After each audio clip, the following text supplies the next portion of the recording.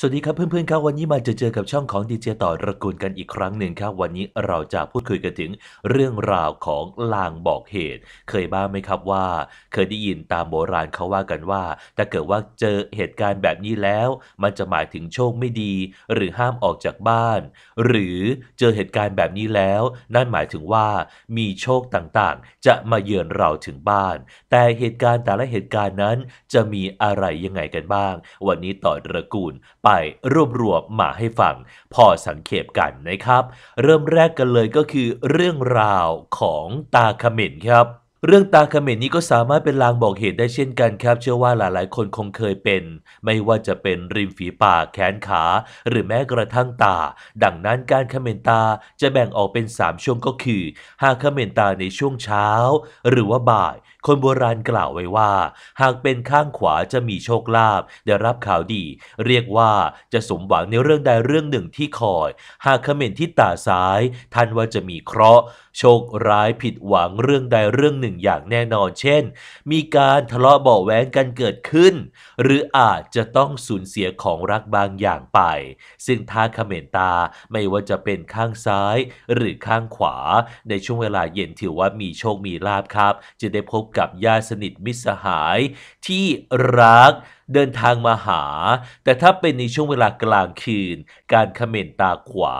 จะได้ดี จะมีเคราะห์มีเหตุร้ายเกิดขึ้น ตรงกันข้าม ถ้าหากเขม่นตาซ้ายจะมีโชคลาภจากเพื่อน จะสมหวังในสิ่งที่รอคอย เรียกได้ว่า ขวาร้าย ซ้ายดี ซึ่งการเขม่นตานี้เชื่อกันว่า เป็นลางบอกเหตุที่แม่นยำมากทันให้ถือเวลาที่จะเกิดเหตุไม่ดี และร้ายภายใน 3 วันอย่างแน่นอนอันนี้ถือว่าเป็นความเชื่อตามโบราณกาลมา ไม่ได้อิงหลักวิทยาศาสตร์แต่อย่างใดครับ ต่อมาก็คือการห้ามใส่ชุดดำไปเยี่ยมคนป่วยครับ สมัยก่อนเขาจะไม่นิยมใส่ชุดดำกันเลยครับ ไม่ว่าจะเป็นงานไหนงานใดก็ตาม แต่เขาจะไม่นิยมใส่ดำทั้งตัว เพราะเชื่อกันว่าเป็นสีแห่งความทุกโศก เพราะชุดดำเนี่ยก็จะเอาไว้ใส่ไปเฉพาะงานศพเท่านั้น หรือหากจะใช้การแต่งกายสีดำก็ไม่ควรเป็นสีดำทั้งชุดนะครับ ควรจะเป็นครึ่งท่อน ใส่ผสมกับสีอื่นๆบ้าง ชุดสีดำก็จะไม่นิยมใส่ไปงานมงคลต่างๆ เช่นกันไม่ว่าจะเป็นงานวันเกิดงานแต่งงาน หรือแม้กระทั่งไปเยี่ยมผู้ป่วย เพราะเขาบอกว่าถือว่าเป็นลางบอกเหตุ เป็นการเดาหรือเป็นการแช่งล่วงหน้า ให้ผู้ป่วยนั้นตายเร็วขึ้นนั่นเองครับทำให้ผู้ป่วยเวลาที่เห็นคนใส่ชุดดำมาเยี่ยมก็จะรู้สึกหดหู่หมดกำลังใจ แล้วก็อาการก็อาจจะสุดลงได้ เพราะสีดำที่เราใส่ทั้งตัวกันนั่นเองครับ ดังนั้นจะไว้นะครับเวลาที่จะไปเยี่ยมผู้ป่วยแล้วแล้วก็ควรจะใส่เสื้อผ้าที่มีสีสันสดใส และก็หน้าตาที่สดใสเบิกบาน เพื่อเป็นกำลังใจกับผู้ที่ป่วยอยู่จะเป็นการดีกว่าครับต่อมาก็คือเรื่องของกลิ่นทูบนะครับเขาบอกว่าถ้าเกิดว่าได้กลิ่นทูบลอยมา หมายถึงมีวิญญาณมา ในสมัยก่อนมีความเชื่อกันว่าถ้าเราได้กลิ่นทูบในยามวิกาลโดยที่ไม่มีใครจุดทูบอยู่ในบริเวณนั้นๆเลยเนี่ย คนโบราณเขาเชื่อกันว่า เป็นวิญญาณของญาติสนิทที่เดินทางมาหาครอบครัว หรือมาหาเรา เพราะความคิดถึงหรือเป็นห่วงเป็นใหญ่กันนั่นเองครับ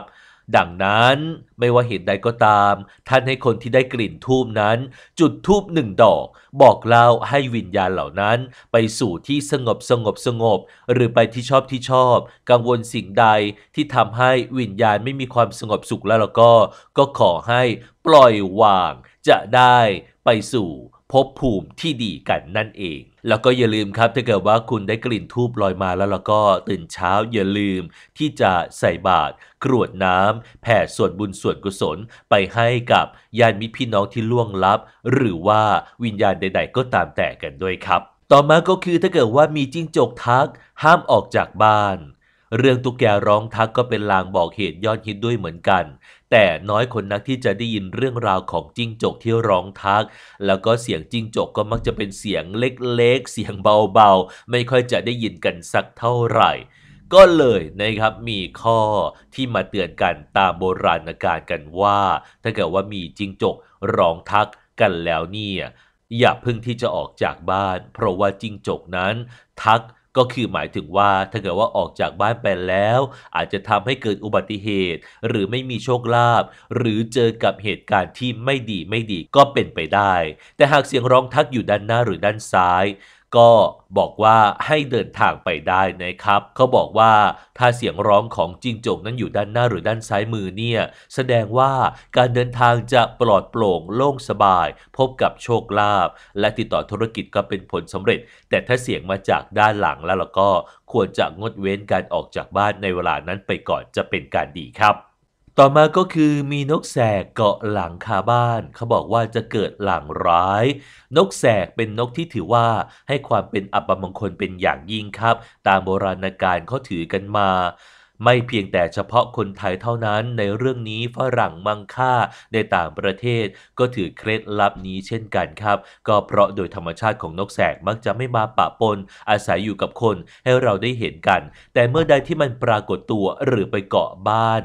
หลังคาบ้านใดบ้านหนึ่งแล้วเนี่ยเขาบอกกันว่า บ้านหลังนั้นจะมีคนป่วย มีคนเจ็บและก็มีคนตาย และมักจะมีการนิยมแก้เคล็ดให้ร้ายกลายเป็นดีนี่ครับ ด้วยการนำเอาดอกไม้ทูบเทียนสุรา บอกเล่าก็พอแล้วหรืออาจจะมีการเพิ่มข้าวสารข้าวตอกผ้าแดงผ้าขาวแล้วก็เงินทอง เป็นการแก้เคล็ดที่มีนกแสกมาเกาะที่บ้านเราด้วยครับ ต่อมายังคงอยู่ที่เรื่องของนกกันอยู่ครับ ถ้าเกิดว่าอยู่ดีๆ เดินไปไหนมาไหนแล้วเนี่ย มี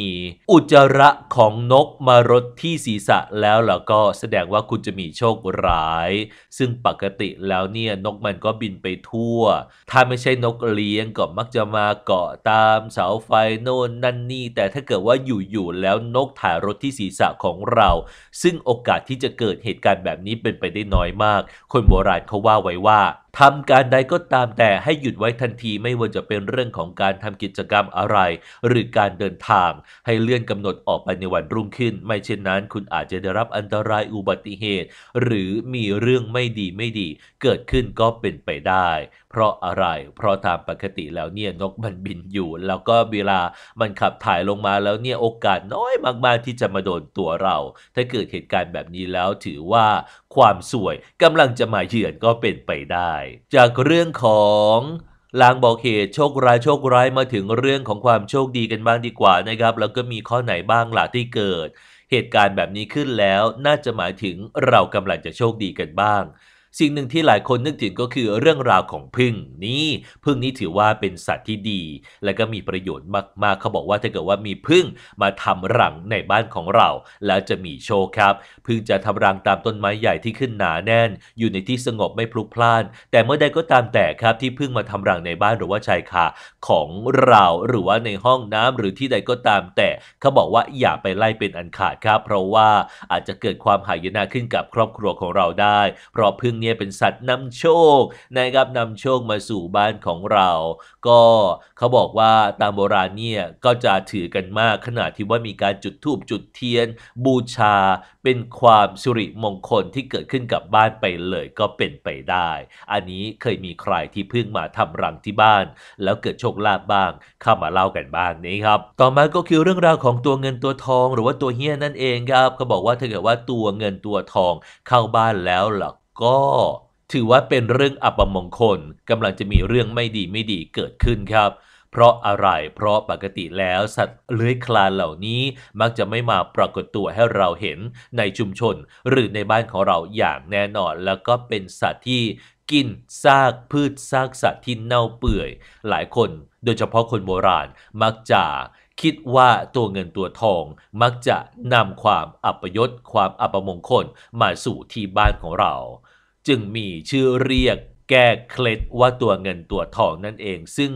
ชื่อที่ชาวบ้านเรียกกันเรียกกัน ก็คือตัวเฮียอย่างที่เรารู้จักกันดี แค่ชื่อก็ฟังไม่เป็นมงคลแล้วใช่ไหมครับ แต่ถ้าเกิดว่าเกิดเหตุการณ์แบบนี้แล้วเนี่ยท่านบอกว่าให้เราพูดแต่สิ่งที่ดีๆ แล้วก็ไม่ให้ขับไล่ด้วยการทำร้ายมันนะครับ แต่ว่าให้หาดอกไม้ทุบเทียนมาบอกกล่าวนะครับ ผมว่าให้ การมาในครั้งนี้เป็นการนำสิ่งดีๆ เข้าบ้านมาแทนความอัปยศความอัปมงคลกันก็แล้วกัน ต่อมาก็คือเวลาที่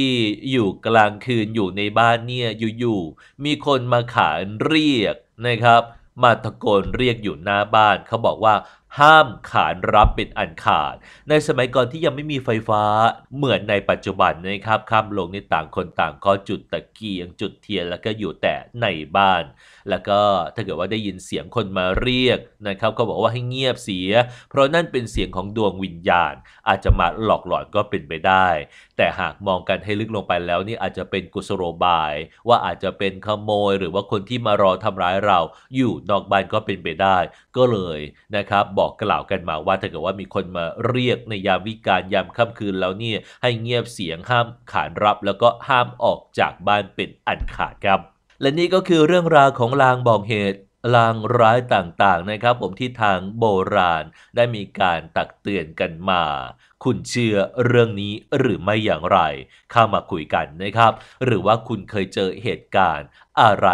ที่ต่อระกุลได้กล่าวมาเมื่อสักครู่นี้บ้าง แล้วมีเหตุการณ์อะไรดีหรือร้ายตามมากันบ้าง เข้ามาคุยกันนะครับ อยากจะรู้ว่าเอ๊แต่ละคนมีประสบการณ์ อย่างที่เคยเล่ามากันบ้างหรือเปล่า แต่ถ้าว่าชอบคลิปนี้ อย่าลืมกดไลค์กดแชร์กด Subscribe และกระดิ่งแจ้งเตือน เพื่อเป็นกำลังใจให้ด้วย เจอกันใหม่ในคลิปหน้า วันนี้ดีเจต่อระกูลลาไปก่อน สวัสดีครับ